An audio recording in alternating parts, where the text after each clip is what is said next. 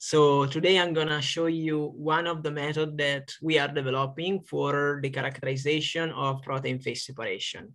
And this method is based on the uh, understanding of the uh, optical properties of solvatochromic dyes, uh, like the ACDAN or Prodan or Laurdan, to better uh, highlight the physicochemical properties of this uh, new uh, novel concept in, in the biocellular uh, physiopathology. So what are protein phase separation? Protein phase separation are self-assembled structures uh, they can form thanks to the interaction of proteins with uh, themselves or other materials inside the cell.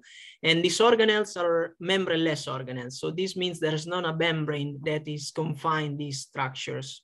And this is very important because this gives to the cell the opportunity to form and achieve new functions without the requirements of forming a membrane that is kind of expensive in terms of energies. And these membraneless organelles can uh, orchestrate the physiopathology of the cell. Um, there are physiological uh, membraneless organelles, like the most famous is the nucleolus, but there are also several pathological in cancer uh, or in neurodegenerative disease. And um, consider there are very few drugs that are starting to target these kind of uh, structures. And for sure, the uh, the development of the understanding of these properties and this structure will help to better find new cures uh, for disease that are unfortunately are not um, are very severe. So what's important on the characterization of protein phase separation is understanding of the type of phase because uh, depending on the strength of interaction between the proteins and the materials that drive the phase separation, you can have liquid-like phase separation uh, or gel or solid-like. And most of the time, the severity of the disease depends on the types of phase separation, which and usually correlates with more solid-like. So, and uh, this, this, characterization starts uh, usually in vitro and, um, and aims to define the, what's called the um, protein phase diagram, where it's a diagram where you have two different um, um properties like protein concentrations or variables or ionic strength or another uh, another properties and allows you to understand how this protein interacts and form this uh, protein phase separation. Here in the images, you can see like uh, the stress granules that are kind of physiological like, or the FUS or the Huntington disease, that's a very severe neurodegenerative disease what's look like sometimes having protein phase separation. For instance, the TDP43 is a protein that it can phase separate and this phase separation, it seems to be involved in the uh, front, uh, the front temporal dementia. And here upon um, adding like a stress, uh, increasing the ionic strength, you can see the formation of the puncta these puncta are liquid-like at the beginning, indeed they coalesce. And over time, you can see that uh, the, the number of uh, phase separation decrease, but the size is increasing. And these, these dots, these protein phase separation are moving. For instance, this one, it seems to be shuttled by some uh, kind of machinery.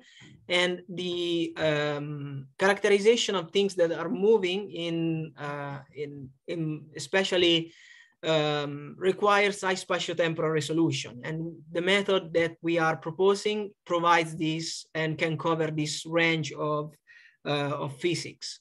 Um, so th that's the problem. The state-of-the-art methods are limited because their spatiotemporal resolution is not great. And um, one of the best method is fluorescence microscopy indeed, because it can be very fast, it's not invasive, and can provide a very high um, um, spatial resolution. Um, but the state-of-the-art techniques like FRAP, it's very invasive and cannot provide much information at nanoscale. Um, and also requires proteins that are labeled. And it starts to be well known that protein, protein that drive phase separation, if they are tagged with fluorescence protein, their behavior can be slightly different than pristine or unlabeled proteins. So for this reason, we are developing this technique, this approach that use uh, solvatochromic dyes uh, these solvatochromic dyes are ACDAN, Prodan, and Laurdan. Um, they are very famous because uh, they have been developed from uh, the fantastic studies and pioneers of studies investigation of Gregorio Weber. Um, the the photophysics of this dye is, is not is not it's not trivial but can be uh, understood in this way um, the uh, ACDAN or Prodan can be excited in a, in a not relaxed state.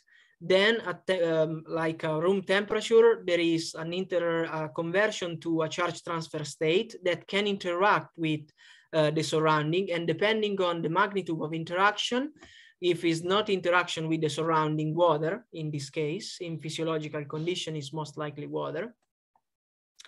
Uh, we have blue emission and a longer lifetime uh, if the, the water can reorganize themselves and interact with the excited state of the uh, um, of the of the solvatochromic dye, we have an green emission. So this ladder of emission give us the information of how the water can interact with how strong is the um, interaction magnitude uh, with between the, the, the, the, environment, the solvent, and um, the uh, and the probe. In this, in this case, we are developing the method using spectral hyperspectral detection. So the measurements that you will see uh, will uh, have been carried out uh, with um, uh, laser scanning microscope um, equipped with a 32 channel hyperspectral detector. We actually carried on also um, investigation with FLIM, but today we are gonna show you, I'm gonna show you just the hyperspectral imaging. And the probes that we select are ACDAN, Prodan, and Laurdan. They, their um, uh, structure, it's different on this moiety. ACDAN is the more uh, water soluble and Laurdan has a very long aliphatic chain. So it's very poorly, it's not, it's, it's almost not soluble in water. So what's the model of phase separation that we decide to investigate? Those are uh, protein phase separation made of BSA, which is a very well-known, uh, it's, a, it's a protein that is uh, very abundant and cheap. So we start to play with, um, with this protein and basically the, the protein, the coacervate, uh, the phase separation can be uh, obtained uh, putting the BSA in uh, um, um, acidic buffer and adding the glutaraldehyde, the cross-linker, you can you can have the formation of these BSA coacervates.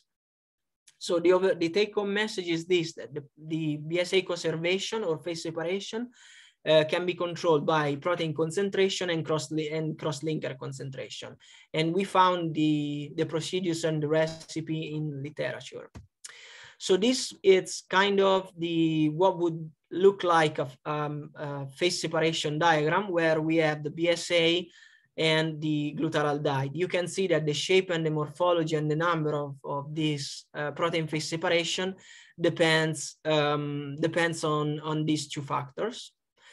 We also tried um, the state-of-the-art techniques, but uh, we found that uh, FRAP, for instance, is not giving much because these protein phase separation are very solid-like be, because there is a chemical bond between the proteins and the chemical bond depends on the cross-linker. So the FRAP is not changing if we explore different points of the phase diagram. And FCS uh, is not really giving much information. We can see that there are still proteins uh, that are diffusing in solution. So that there is kind of a, an equilibrium or a difference, uh, different in concentration of protein that are mobile in solution. And you will see that will be important later. So we choose these three probes because their partition depends on the affinity, on the water affinity. And in our idea on the first model that we developed was, okay, ACDAN most likely is gonna be on the surface. Uh, Prodan maybe can penetrate a little bit more and Laurdan should aim for the most hydrophobic pockets. So uh, we analyze the data with the spectral phasor uh, analysis. The spectral phasor is, is the spectral, is the phasor transformation of the, of the spectrum. So each pixel of the image contains the spectrum. Uh, uh in each pixel, you can find the spectrum and this can be uh, transformed in the phasor plot.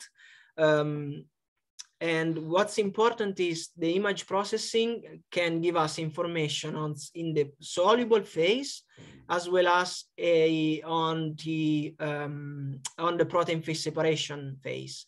And we can use the angle on the phasor plot to understand what kind of environment. So the angle here, uh, it means like from this to uh, from this angle to this angle, we have an increase of wavelength, and this means the spectrum is shifting from blue to green. So the angle is directly the measurements of the uh, water dipolar relaxation or the interaction between the, the solvatochromic dye with the, with the environment. So we start that um, this preliminary, pre preliminary uh, phase diagram, and we discover that the probes gives uh, different information so this means the environment that they can populate depends on their affinity. So the model in some way was correct, but here we are carrying on too many informations and it's kind of tricky and not trivial to better to understand the properties of the system.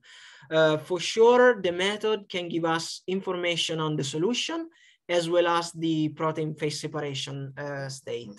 So for this reason, we decide to focus on ACDAN, that is the probe that is giving the maximum shift uh, and the so therefore the high sensitivity. Um, and uh, the next step would be, okay, the first model uh, the, where we compare the three probes was based on the um, on the uh, hydrophobicity, hydrophilicity of the probe. And this is, is an approach that has been used for the uh, characterization of, of the membranes using these solvatochromic dyes. But membranes are order and they have layers, while uh, in this case we have a lattice. So in, in principle, we need to shift the model from this kind of representation to this kind of representation, where the water embedded on the phase separation uh, can change the um, depending on the, the types of water that is embedded in the phase separation, we are uh, changing the, the optical properties of the solvatochromic dyes. So the, the next question is, is, is so since there are differences depend on, depending on the glutaraldehyde on the phase diagram, are we sure that the glutaraldehyde is not like affecting in some way at the nanoscale level the um, the protein phase separation and the architecture and the lattice of these uh, of these uh, uh, structures. So to demonstrate that, we uh, we did a, a FRET uh, assay where we use FITC label BSA and rhodamine B uh, label BSA uh, FITC is the donor and uh, rhodamine B is the acceptor. And by measuring the quenching of the lifetime of the donor, we can uh, actually as, uh, measure the FRET efficiency. And uh, the FRET efficiency depends on the distance uh, between donor and acceptor. And we can see that increasing the glutaraldehyde, uh, so from 1% to 10%, we, have, we can see an increase of uh, FRET efficiency. So uh, the cross-linker is actually making the um, the lattice more uh, like tight and, and close. So the protein distance is um, decreasing, increasing the uh, cross-linker concentration. So this in, in this in this so this means that the interaction in some way is stronger between the proteins. And then we we study yeah, but uh, most likely this uh, very heterogeneous environment inside the phase separation depends and the response of the optical of the probe depends on the concentration so we explore the concentration and we isolate the best concentration to study this these kind of things and we choose the one that have the uh, like the spectrum constant after this concentration. So this means here we are populating all the available pockets in the um, in the protein phase separation. And we also use this to demonstrate that uh, this phase separation have like slightly uh, is slightly autofluorescent. So we had to develop a three um, uh, three components analysis to analyze this um, this protein phase separation. So using the three component analysis and the shift, we could uh, we could measure the protein phase diagram on the droplet phase and the solution phase. And you can see here that there are regions of the diagram where the, the water embedded in the protein phase separation is different. So we can highlight and super resolve the phase diagram uh, where we have this region where is different than this region. And at the same time, within the same image, we can also have information of the aggregation state of the protein in solution. I've tried to schematize and summarize. So those are the images. Uh, uh, I've tried to summarize what's going on depending on the uh, protein concentration and cross-linker concentration. So uh, small protein concentration and I and as a function of the cross-linker, we can see that the color is not shifting. So this means the cross-linker is not modifying the optical properties of the probe. And this is important. Um, then in keeping the increasing the protein concentration with no cross-linker, we can see that um, the color is changing. And this is due to the fact that BSA has a hydrophobic pocket. So this is, in our opinion, the binding uh, of ACDAN to the uh, hydrophobic pocket of BSA.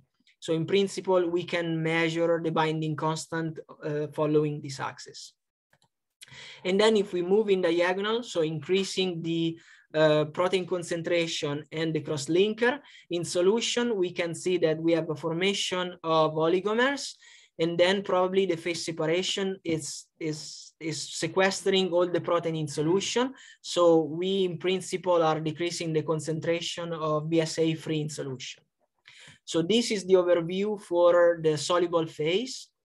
And for the uh, protein phase separation phase and drop in general, we call it droplet phase, uh, moving here in diagonal, we can see that the color is shifting. So this is more uh, blue and this is more green. So in our opinion, the water embedded inside this phase separation is interacting more uh, with the proteins in this case. And here is not interacting with proteins, but can relax the excited state of ACDAN. And this is due to the fact that the protein interaction here is maximum, protein-protein interaction. So um, the water is not interacting with, uh, with the lattice of protein phase separation. So yes, this is the summary. So low, uh, um, so this, this phase of cross-linker, this amount of cross-linker have low polarity, uh, and here high polarity. And this depends on the water uh, interaction. We are, we are also trying to correlating the, the physical, other physical properties of these um, uh, of this uh, protein phase separation and we are trying to investigate if these uh, lattice structures can affect the partitioning of molecules. In this case, we are comparing a fluorophore respect to a protein. And we can see that the FRAP of fluorescein depends on the cross-linker concentration, as well as the FRAP of GFP embedded uh, inside the uh, protein phase separation depends on the cross-linker and uh, as well the, the, the mobility of, of protein uh, in, in the system.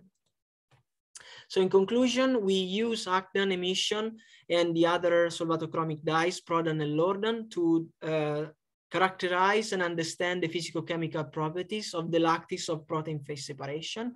We use a model phase separation and uh, we are um, we we show that this approach can be very important and can be very impactful on the understanding of the properties of this at nanoscale, especially because it's giving information of uh, the affinity of this protein phase separation for molecules. And that, in our opinion, can be very important for drug development. Here in this um, animation, you can see a lysozyme crystal and in and this is a Z-scan, so it's kind of uh, it's the crystal, and uh, the crystal is purple, while this amorphous uh, the amorphous particle is uh, cyan. And so, in our opinion, we can also use this, this approach to characterize other protein phase separation. And because it's very um, you can see the shift is, is very strong. Here we're using just a simple uh, generalized polarity GP analysis. So we are making the ratio between two channels of emission and it's enough to discriminate the um, crystal phase from the amorphous phase.